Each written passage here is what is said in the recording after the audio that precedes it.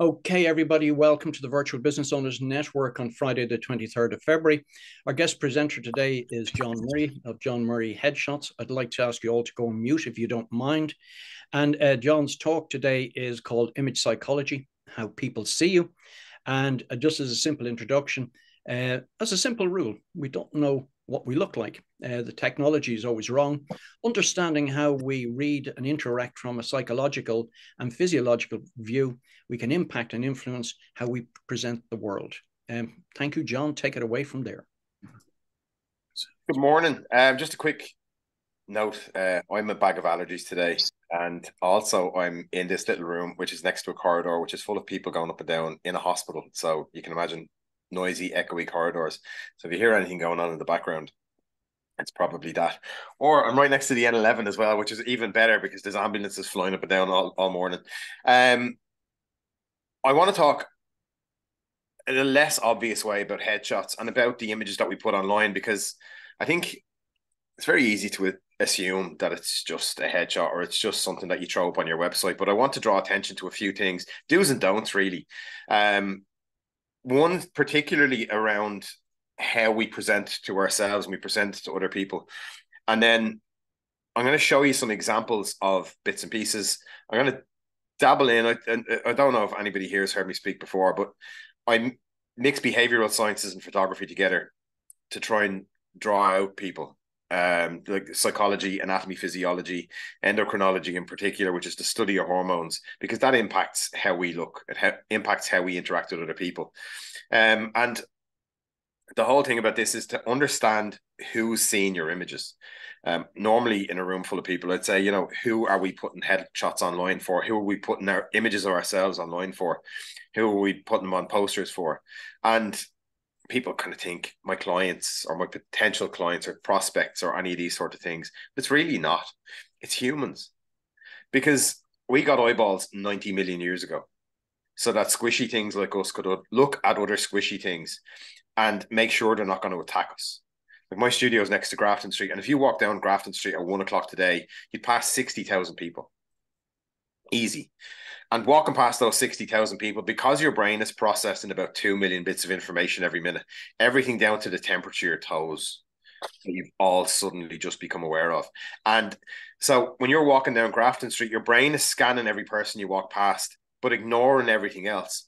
It's ignoring all of those people because they don't they're not relevant until you see a drunk person or a drug addict on Grafton Street at one o'clock in the afternoon, all of a sudden you become aware of them and they're the only person you remember when you walk off Grafton Street. So we do the same thing when it comes to image.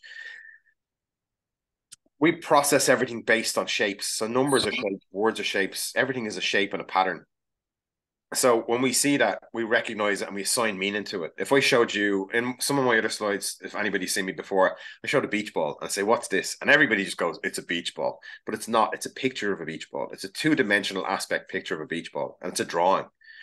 But we assign meaning to that shape. And when we assign meaning to the shape, we assign function to the shape and everything else around it. So we do that when we see people as well. We look at a series of shapes, the shape of the shoulders, the position the head is in, and when we're looking at any animal, any squishy thing, we look to see where the eyes are as well. Forward facing eyes are always a predator. So we become slightly more aware of them. Now, how does that apply to this? Because when you see people on a screen, your brain believes they're actually standing in front of you in the room. When you see photographs of yourself, your brain believes that's actually another person standing in front of you. Um, anybody who's been in the studio, anybody who's heard me talk knows that I talk about this a lot that when we feel uncomfortable looking at ourselves, we all blame one thing on our face we don't like. It's the same thing in every photograph. It's always there, and we blame it on making us feel uncomfortable. But it's actually not that. It's empathy because the person on the screen is uncomfortable. The person in the photograph is uncomfortable, and we need a reason why we feel uncomfortable. So if you're with somebody who's happy, you're happy. If you're with somebody who's sad, you're sad. If you're with somebody who's uncomfortable, you're uncomfortable. And when you see that image of a person on a screen, as far as the 90 million year old part of your brain is concerned, that houses the eyeballs, that is another person standing in front of you. You need to be socially appropriate and empathetic to that person. They feel uncomfortable. You move the same muscles in the same way. You feel uncomfortable. And then it's all a big bag of crap because every time you look at yourself, you're just going to go, oh my God, I hate having photographs of myself. You freeze up, your body language freezes up. So that's that side of it. I'm going to jump onto some slides. I don't really want to kill this with slides, but I'm going to show you some stuff. You, um, and I'm going to run through them really quickly and I'm going to explain why they're in there because it's about what we're putting online. So it's about the images that we're using on our LinkedIn, the use images that we're using on our um on our websites, the about us sections on websites. I get to see them a lot because I get sent them a lot from companies who are saying, I really want you to come in and work with us. This is what we have online. And you go on and look and think, oh, right. It's uh thanks for getting in touch. We'll uh, we'll definitely improve on what you have. And I'm going to show you some things that I, I don't know whether they just irritate me or they irritate other people, but I'll explain the psychology behind them and what we see and what we understand from them and we take from unconsciously. Um, I'm going to jump onto slides really quick. Um, into this, into this. Uh, if somebody could let me know if they can see my slides properly, be great. Perfect. Thanks, Alec. Da, da, da. This is not me. This is Graham. Um, so I think people are afraid a lot in what they put online. I'm on LinkedIn. It needs to be super professional. It needs to be super clean. It needs to be, you know, me standing doing that talk that one time that I did a talk on stage and I have a photograph of me, you know, with TED Talk in the background or TEDx or any of these things. We need to understand that when you see somebody's profile picture on LinkedIn, it's a centimeter and a half on your screen. It's even smaller if you're looking at it on your phone, but your brain does the same thing and looks at those shapes. So it's how people are carrying themselves across the shoulders and how it's framed.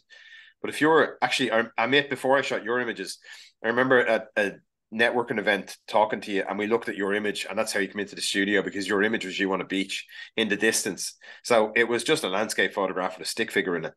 And as we go across the images, what do we need to know? Um, you want to show your personality, right? So if you were walking up to, to or dealing with somebody face to face, you need to see their personality. If they're completely devoid of personality, then you know you're just not going to want to deal with them. If somebody's going around and they have a face on them like the smell of vinegar, you don't want to engage with that. But if somebody has life in them, if they're happy and they're able to show off their personality and stuff, it's important to be able to see that. And that's one of the most important things. No matter whether you're getting headshots in Ireland, in England, in America, you know, who it's with, I know there's other photographers on here, David and stuff. If you're shooting with anybody, it's about getting to know that person and letting them draw out your personality so that people can see it and it can be recorded in images. Because we tend to stand in front of the camera and then think, I need to smile, smile his mouth, I'll move my mouth. And then you look like a seat sniffer on a bus because you're just moving your mouth and the rest of you says, I'm absolutely petrified. I don't want to be here. So it needs to be reflective and it needs to be based on trust. Um, this is Shane Craddock, and I shot Shane last year. Um, a lot of people probably know who he is. He's a big coach, and as part of what something I was doing for See Change, we're shooting people in the studio wearing these See Change green ribbon things, and men don't speak out usually when they have something wrong with them. There's a whole mental health thing. So as part of the See Change thing, I started to shoot people screaming. Now, you look at your LinkedIn and think it needs to be professional and it needs to be whatever. Like he uses this actual photograph as his LinkedIn profile picture, and it's him screaming um, in the studio or faking screaming, but he just did it really well. Um, but you know, he's using that as a LinkedIn profile picture, and that's perfectly acceptable because it shows some element of his personality, or it shows that he's calling out to the world around him. Now, when you see his LinkedIn posts, he probably has seven or eight different images that he's using and they're all different aspects of his personality and stuff and they're in all of his posts as you go through. I know alec does it um you know jason and stuff like that. We'll see. There's a huge amount. Simon haig anything you go through with samantha kelly uh, the tweeting goddess there's a whole pile of their images and they're in all of their posts. And it shows elements of your personality and different elements of your personality. So you're able to use that your LinkedIn profile picture is just something to draw people in. And in the same way they'd walk up to you on the street or pass you in the street, it's the shape of the shoulders, the position the head is in, and then it's the eyebrows, the lower eyelids, and the corners of the mouth that make the massive thing.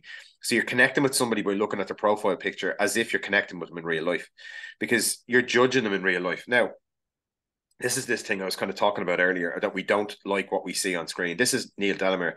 Um, and I shot Neil in the studio. This is what Neil looks like to everybody else.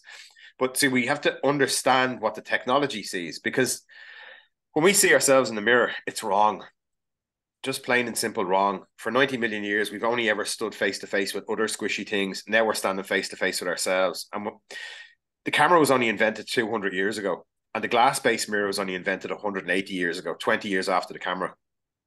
So what we see in every respect is completely wrong. So this is what Neil see. This is what we see of Neil. This is what Neil sees of himself. So Neil thinks he looks like the lad on the with the mirror written underneath him on my right side of the screen, probably yours as well. Um, but it's wrong. Um, from a profiling point of view, Joseph McGuire be all over this. Like on the right, on the real image, he has a heavy right cheek, and that's an external indication of comfort in positions of of abundance. So people in positions of power and stuff. But when we see the left image, he almost looks greedy because his left cheek is heavier. So there's two different personalities there, and we need to know that, and we need to understand how that works. And the next bit is probably going to shock you because the leading cost, or uh, the, the leading cause of rhinoplasty in the states at the moment is selfies, because UX designers in Instagram and TikTok and all these, they want you to use your phone. They want you to be on the app. The more time on app, the more the company gets paid. And that's just the way it works. So what happens then when we have photographs taken or we stand in front of the camera is this is the same boy standing in the same position doing the exact same thing. The only difference is the zoom level of the lens. So there's a significant portion or a significant amount of distortion on that first image, the 24 millimeter image. So what they want to do is make sure that we have a jawline on your Instagram and on your TikTok and everything else, because nobody wants to have double chins in photographs. And nobody wants big sticky out ears in photographs either. So what happens is they use that 24 millimeter lens, it elongates the face and gives depth from the front of your nose to the back of your head. But it's distorting the whole face. So, and you can even see it across his shoulders as well. It almost looks like he's leaning forward and his chin is up. Then the second image, if you're short sighted, it's the level of zoom we're seeing, but the technology is wrong in that we see three dimensionally. The camera only sees two dimensionally. So there's distortion between the lens and the sensor. So at 70 millimeters, which is that kind of level of, of zoom that we see at for short sighted, his nose is still distorted, the shape of his shoulders, and the shape of his body language is still distorted. And the last image is actually what he looks like. So I shoot on a 100 millimeter lens, and that on a full frame body. To anybody who understands full frame, it's a larger sensor.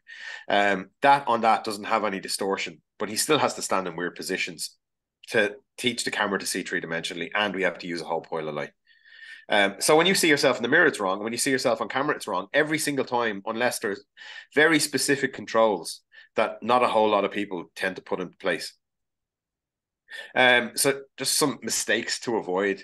Uh, I don't want to bore you for ages. So um, this is one of those mistakes. Now I've just gone to about us pages on websites. Um, I probably forgot to block out people's names on this, but sure, we'll run with it. Um, this is fresh out of the 1980s. You know, the dropped shoulder and the head up and shooting from way above. Um, you see the colouring is wrong as well. So the colouring is all over the place. This posture is terrible. We're confident. We stand really tall. You want people to know that you're confident. So in your photographs, you should be standing tall because we follow what goes off the screen. So if your posture's off, like these are sitting on a stool, they're leaning on their thing. They look a bit like they couldn't be bothered. Um, and just the whole lot's wrong. Like it just feels wrong. And then the lad on the right with the red hair, big rosy cheeks on him, that's fine. But somebody like a retoucher and editor should be taking that out um, because he's obviously embarrassed or he's obviously nervous. And what's happening is it's causing the rosacea in his cheeks. Now, if that's a normal thing for him all day, every day, then that's fine. You leave it in. But here, you can see that they're uncomfortable. The lad on the left, the older guy, has a social smile. So that smile I was talking about earlier, where you look like a seat sniffer on the bus. So your top lip is completely flat, and his lower eyelids are curved. And you don't curve your lower eyelids when you're uncomfortable. You hold them open uh, when you're stressed, and that's what's happening in the image. So it just feels wrong. But this, these two images are primarily about the angle of the shot and letting people pose in that position because you want to see confidence across the shoulders, and your man's tie is open on the right as well. It just makes it look sloppy, so they're not uniform. Um, these are another example of things that people do wrong. Now, if you look across a lot of the images, a lot of them are quite good. The girl in the bottom in the middle is very good. The image above her is very good. They're across the shoulders, they show confidence, they're genuine reactive smiles. But when you look at the uniformity of the images across the board, they're all different. that they've used the same toning in black and white, but that doesn't make any difference because the first guy he's clenching his lips, his head is up really, really high, but it's professionally shot.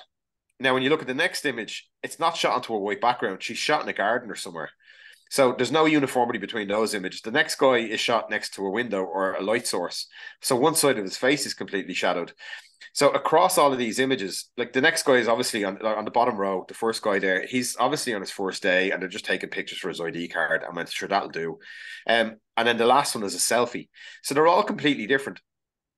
Unconsciously, that suggests that there's in, in what word am I looking for, Alec? Um, there's indiscrepancies or there's there's not a uniformity through the service in the company. Inconsistency. Is that there the word I mean? Yes. Thank you very much. Me and my allergies in my kind of yeah process this morning all over the place. Yeah, and, and you know, if you were looking at a business, you'd think they didn't have any um coherence. Exactly. You, know? you think there wasn't any get like they weren't working as a team, that everyone yes. was off doing their own thing. That's what you would think when just look yeah. at yeah. Like these could be, you know, a group of anybody. It doesn't really matter who it is, but they feel like there's no consistency across the board because they're all different. Um, the next one is another company. Now, I like where they've gone with it, but the same thing is kind of happening. You know, they went, oh, we'll get everybody to cross their arms. Not everybody's crossing their arms. And the top images, you can kind of see it. They're all shot different. This, the first guy is obviously shot next to a light source that's on his right side, and he's facing into the light source, which is great. But a lad on the far end, who kind of looks like Rick Stein, the uh, the chef, like he's shot with the light source at his back, and then there's a, a change in the light. So there's obviously near a window, and he has halogen bulbs or something on the inside um, of the of the office or wherever he is. And they're kind of all shot differently. The third one, the girl in the green top, that's shot by a professional photographer. Her posture's a bit all over the place, and the image is not really what I'd be kind of going for. But like you can see that they were looking for a look, as in, ah, sure, we're a bit of crack, you know, that we can cross our arms and we can have a big smile on our face. But as we go through the images, or as you go through the images there, they all kind of feel different and they're all shot different. And there's just again that no cohesion across the, the work. So why did I put her in there? Um, because there was supposed to be words beside her, but uh I don't know where they went. Um, this was shot on LinkedIn actually. Um, I shot her. She was nine months pregnant at the time, and she was about to go on on leave. But big, genuine, reactive expressions that are based on trust is important, rather than it being I need to stand here and I need to smile because that's what's expected of me. Um, top tips: uh, the light should always be behind the camera. Now, as I stand here talking to you, the light is here. The camera's slightly further away because of the zoom level of the lens, but the light should be in front of you um, ideally, especially if you're going to take selfies or anything like that, like I'm not going to tell you you need to have a professional photograph on LinkedIn. If you can take a decent selfie and you can use that on LinkedIn that's going to represent you, then that's fine. It's perfectly fine. But it needs to have good posture and it needs to have good light. So you need to have a window or something behind the camera where you're taking the photograph. You don't need to be like me. Actually, if you're still looking at me on the screen, the window's behind me I don't know what that did with the camera. Did it come back on? It did. So now you've got the windows behind me and it's completely shadowing me out and it's taken from me. I should be the brightest thing in the room. If you're driving down the road at night and somebody turns on, that's really bright. Uh, somebody turns has their full headlights on you're supposed to kind of look at the pillar on the far side of the car and look at the side of the road as you drive past them. But we don't. We stare straight at it because we stare at the brightest thing in the room. So the brightest thing in the image should be your face, and especially should be your eyes. Uh, genuine expressions.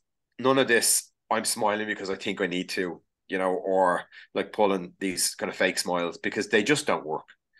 Because if somebody feels uncomfortable and looks uncomfortable, we feel uncomfortable with it, and then all you're doing is you're harming your brand. Um, I hate reading stuff off a screen because you're already seeing it. Like you can read it as well. Um, remember that you're communicating with humans. Forget the fact that you're putting something on LinkedIn I'm sure it's only my LinkedIn profile picture or it's only stuff that I'm throwing into a post. You need to understand that as people see that, they're believing that you're an actual person standing in front of them in the room and you need to connect to them on a human level. And the only way to do that is to connect to the camera on a human level, which means connecting with the photographer who's taking the photograph on a human level. So if you're comfortable with the photographer, you're comfortable with the person, and it could be your your friend, your sister, your brother, anybody, whoever's taking that photograph of you that you're going to use online, make sure that you're comfortable with them and you're comfortable in their presence because that's going to reflect in the photograph and your clothes as well. Never ever wear stuff or bring stuff into a photo studio that you're not comfortable wearing because if you feel uncomfortable, you're going to look uncomfortable. I hate this dress, but I kind of think I need to wear it because it's what's expected of me. I think my LinkedIn headshot at the moment has me in a hoodie. You know, it's it, it's a thing. Just be comfortable. Um, I was being funny there when I said, except for when the AI aliens come for you. Um, and don't be afraid to show your personality. Look again, saying the same thing over and over again because it's important. People buy from people, and people for millions of years have dealt with other people like tens of thousands of years since the industrial revolution or the, the agricultural revolution we've dealt with other people face to face for trade. And it's just always been that way. Technology shouldn't change that. Like technology doesn't change that. Your brain is still hardwired to want to connect with humans on a human level even though there's a picture on a screen or there are people in a zoom call you know, we still look at them in the same way and we still carry or, or, read their information and read their body language in the exact same way because that's what's vital. It's connecting with people on a human level. Whether it's through a still image, through a video, through advertising pictures that you see on a wall somewhere, it doesn't matter. Your brain believes they are actual people standing in the same room as you, doing the exact same thing. And it's important for you to have that empathetic response when you see them.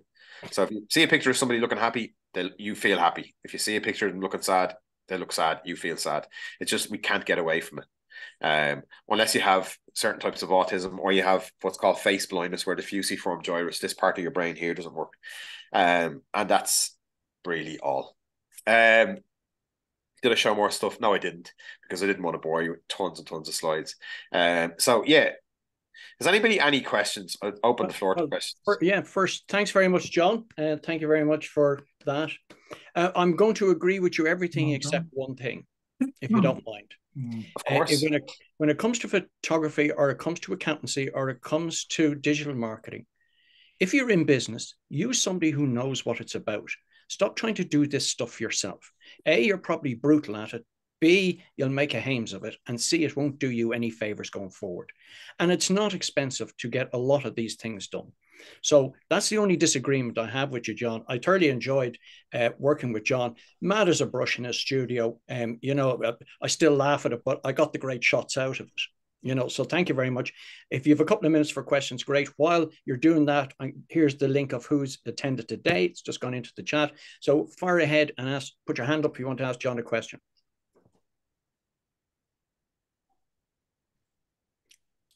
They don't. You were so succinct and so good, John. They don't even need to ask you a question.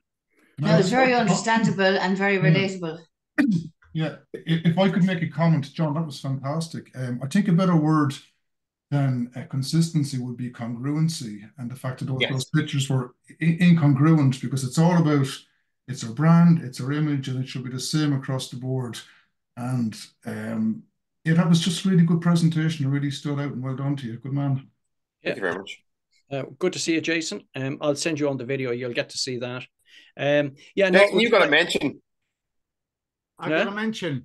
You got to mention. I've, I've, heard you speak before, John, so I know what you're. Uh, probably know what you've said. Yeah, it yeah. was a little bit of a different talk, but it was. Uh, Alec will send you on the video, but you did get a mention because your headshot images are like the images we shot in the studio are on everything. They're all over the posts. They're everywhere. So. Yeah, no, they're they're very good. Yeah, I was coursing you. Anyway, um, hang in there, John, as long as you like. I'm going to stop the recording now. Uh, I know you have to go at some stage because you have a few psychiatrists to shoot. Um, so uh, thanks again, much appreciated. And please uh, connect with John.